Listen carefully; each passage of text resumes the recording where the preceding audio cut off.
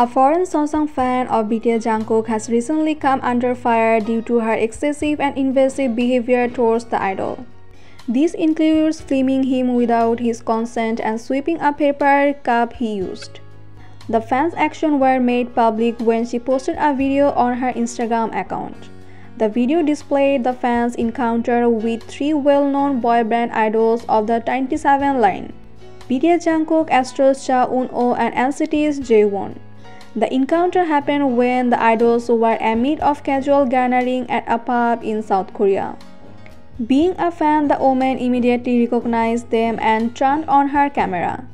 She brazenly asked for their autographs, which clearly unsettled the K-pop stars as seen in the video. When she did not depart, Jaehyun respectfully requested her to give them some privacy. He said, I am sorry, but we are having our own time right now. I'm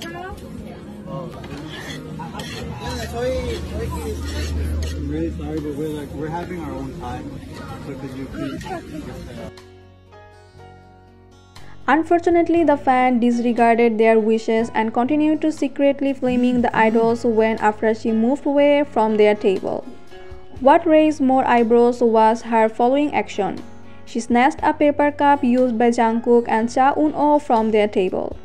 With audacity, she showcased his trophy on social media bragging about her action. The fan then gave her own breakdown of the entire incident on her Instagram and started she sang with Jungkook for 10 seconds. However, she faced a massive backlash from other fans for her actions.